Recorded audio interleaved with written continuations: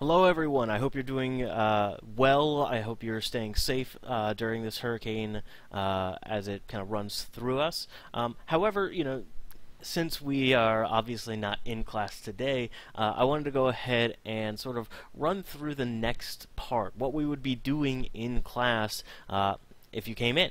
Uh, so quite literally, uh, when you came into class, uh, I'm expecting that this was done uh, because this is what we're going to talk about. If you had not done this, uh, I would have quite literally just told you to watch the video uh, effectively. So what I want to go ahead and do is I want to go ahead and start talking about some of the values inside of our sensitivity report. So one of the things that uh, you're noticing, at least up in this top region for now, is our final values. This 25 and this 50, if you notice, this was the value that Excel put into our normal and racing lawnmowers. So effectively, that's just uh, our changing function, right? That's that is the same value. The same thing's going on with our objective coefficient. You see our 600 and our 800 those are the same things as our profits. So uh, for my sake, I'm going to go ahead and highlight those as green. This is just sort of following our color scheme. But I want to focus in. We'll ignore reduced cost for now. We'll get into that uh, in a little bit, or uh, in later semester uh, classes. What I want to focus in on, though, is the allowable increase and decrease values. You see, what these are referring to is, you know, what if I wanted to uh, make a little more money? What if I wanted to increase this cost? How much could I increase, say, my normal lawnmower uh, without breaking this entire model? Remember, where this entire approach using Solver and using linear uh, programming was to find the optimal uh, combination. What this is saying is to maintain uh, this model, I could increase my profits. I could increase the uh, profit of my racing lawnmower to 600 plus 200 $800. I could in increase it to 800 uh, before everything breaks. Uh, as soon as I do that, uh, we'll see that. Uh, so just to even see this in action for a second, uh, I'm going to go ahead and say I'm increasing my profit, my normal lawnmowers, uh, to $799. That's literally how much I'm going to increase this. If I ran through the solver one more time, what you'd notice is nothing changed. And that's actually what we're kind of identifying, is that I could increase uh, the selling price of my normal lawnmower up to $200 uh, and still have the same models. This it would still be the optimal configuration, and this is how much I would make. The second I increase this to eight hundred dollars, right? I want, I you know, I'm I'm jonesing for that extra dollar. Uh, the second I do that, and I run through this entire process, I've broken my model. Uh, you see, now it's just more optimal to you make normal lawnmowers because they take less labor hours, and you know, while you know tubing's just kind of part of it as well. It's just better to do this. So we don't, you know, want that obviously. Like when we're thinking about things, maybe we have some constraints about.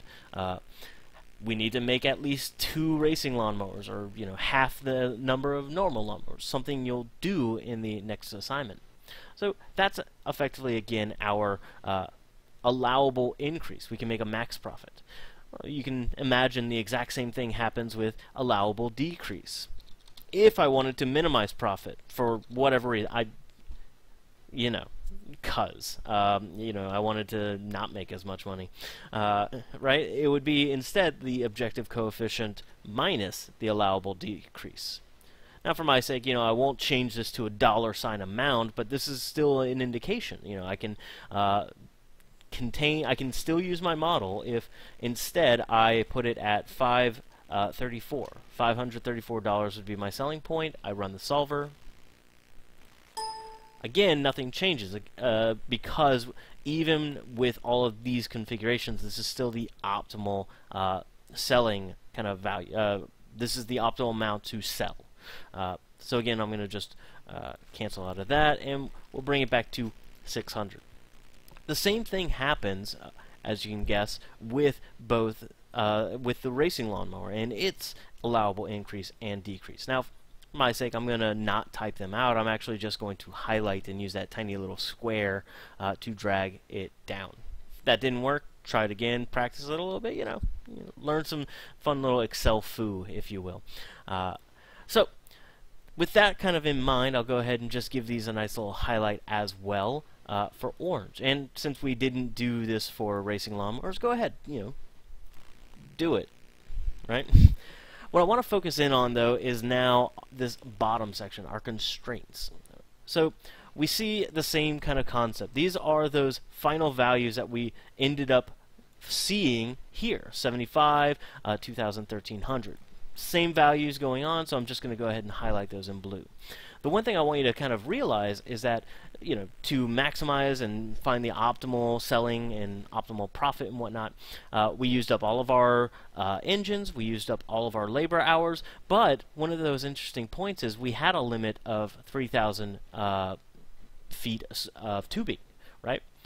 That's too much. We actually have we're buying. If you think about this in the supply chain model, we're buying too much tubing. We're only using 1,300 tubing uh, to maximize profit. So if we're looking to cut costs somewhere, uh, this would be a great place to do that. Uh, we could actually reduce this down to uh, literally 1,500. You know, just a little slack for when we break it, uh, and we'd still be perfectly fine. Uh, so that's one of those interesting points. We found a place to save money.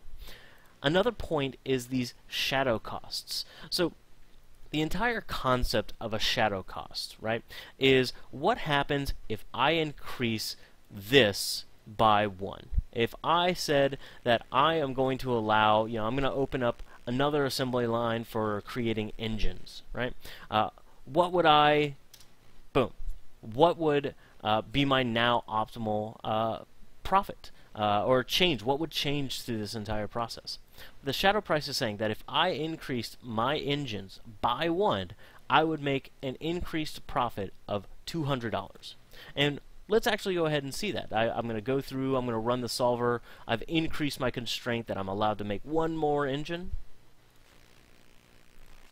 And we see exactly that. We see uh, this time I'm allowed now uh, $200 uh, additional profit, exactly like it said. Now you can see increasing tubing doesn't do anything for us because again we have so much tubing left over, so uh, you know it's not going to help us. The one thing I want you to kind of look at is this labor hours.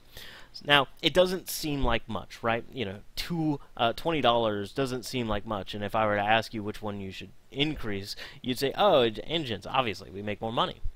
But what I want to kind of pose the question is, uh, should we make one more engine or hire one more person? Reason why is because if we think about it, we hire a full-time person. They're going to be working 40 hours. That's a, a very key thing here. Uh, we're going to add one more person. They're working 40 hours uh, a week on creating these lawnmowers. Uh, what we're looking at is now, again, if we think about it, increasing by one gives us a profit, profit of $20. If we hired someone and their job, 40-hour work week, uh, that's increasing now by 40 you know, I'm using air quotes uh, here, but units. Uh, 40 additional hours means 40 times 20. We should see an increase of $800. And just to see that, again, I'm going to go ahead and make our constraints again 75 here, and we're going to increase our limits now. Again, we've hired one more person. So we have an additional 40 hours of work week. Again, just increasing that engine, we got a 200 profit. If we hire someone instead, we hire a new person, we're going to get a profit of $800. So it's a, a, fun little kind of idea of which variables should we be changing, which variables should we be fluctuating with. So the thing about it, uh, again, these are those same constraints that we were talking about. You see the 3000 there. So uh, again, I'll just highlight those in red. We'll worry about the allowable increase and decrease later. So we're going to go ahead and I'm just going to black them out. Again, you know, things to think about. But this is an interesting kind of point. Uh, so one of the things to think about if you're looking at this for, for you know prepping the exam, because uh, obviously this will be something on the exam. If I presented you with this sensitivity report, right? If I asked you what the max profit of a normal lawnmower or the min profit of a racing lawnmower uh, was, or how many engines were used uh, to create uh, our optimal profit. You know, every single one of these cells is something that you can expect to be asked. These are not because that's why I blacked them out. Uh, reduced cost, same kind of thing. So there. Um, everything that is not blacked out here is a cell that you should understand and recognize and be able to uh, answer in a in a, the exam. So once you've done this, again, if you were in class and you didn't even build uh, the sensitivity report, this is the first thing I would be asking you to do. Uh, you'd literally be watching uh, videos on Moodle in class. So definitely, you know, prep up. Uh, this is what we do in class, and then all I would ask you to do is go on Moodle, and this is your second assignment. Take what we've learned and now do it again, apply it. But this time, instead of working off of two lawnmowers, we're going to work off of four uh, shoes, I guess. Uh, you know, flats, heels, wedges, sandals. We're not making as much profit on one of them because, again, you know, a lawnmower is expensive a flat is not. Uh, but we have the same thing. We have some constraints: 1,500 square feet of leather, 500 pounds of rubber, 500, uh, 200 pounds of cork. Uh, there are some additional constraints. Uh, you know, obviously, uh, flats need two square feet, and the same kind of process. These are, you know, this is the one engine. now uh, the 20 hours of labor hours. We'll ignore labor hours for now. So the question is, you have to make at least 10 of them, and you have to make two flats for each set of heels. Now, the one thing I want you to think about is these two constraints here that I've added in. Uh, don't worry about them for right now. You know, focus on getting your sensitivity report up and running. You know, you're doing an iterative process. Once you've got something that works off of here, then you can start to add these kind of extra little details in. And this is just something you'd add to Solver. You need to make at least 10 of each. So this final value cell uh, greater than or equal to 10, right? Same with each of these. The next question would be, now that you've built this model, some stuff. How many can we make? Uh, what happens when we change those constraints? What's our min profit and max profit? What can we uh, adjust with each one of these. So, again, I hope you're all staying safe, uh, stay dry, um, and you know, I'll see you on Thursday.